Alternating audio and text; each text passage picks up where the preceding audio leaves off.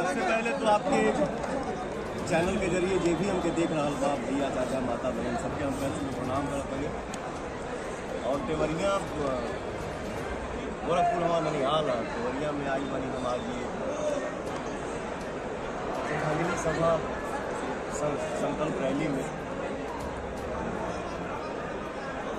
मंच पे आज आप लोग देख ही रहे हैं कि हमारे ऑडियंस जो है वो काफ़ी फरमाइश कर रहे हैं ये गाना वो गाना लेकिन मैंने बोला कि नहीं आज का जो फ़ंक्शन है इसमें कुछ ऐसा दायरा है जिसको हम क्रॉस नहीं कर सकते।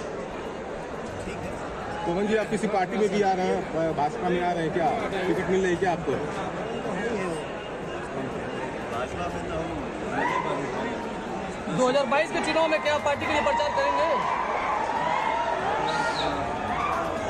बिल्कुल करेंगे। अगर हम इंडिया में रहेंगे तो ज़रूर प्रचार करेंगे। थोड़ा सा एक शेड्यूल मेरा बन रहा है ना मुझे लंदन की तैयारी हो रही है वहाँ पर फ़िल्में शूट होंगी अगर लंदन चला जाऊँगा तो थोड़ा बहुत दिक्कत होगा लेकिन कोशिश करूँगा कि हम उस समय आ जाए। आप कार्य समिति सदस्य भी हैं भाजपा कार्यकारिणी के तो क्या अभी भी आप उस पद बने हुए हैं? राष्ट्रीय कार्य समिति के सदस्य थे अभी इस समय कोई तो क्या क्या पार्टी से आपको आगे कोई पद दिया जाएगा है तो आप चुनाव लड़ेंगे। 2022 में टिकट मिलता है तो क्या चुनाव लड़ेंगे आप?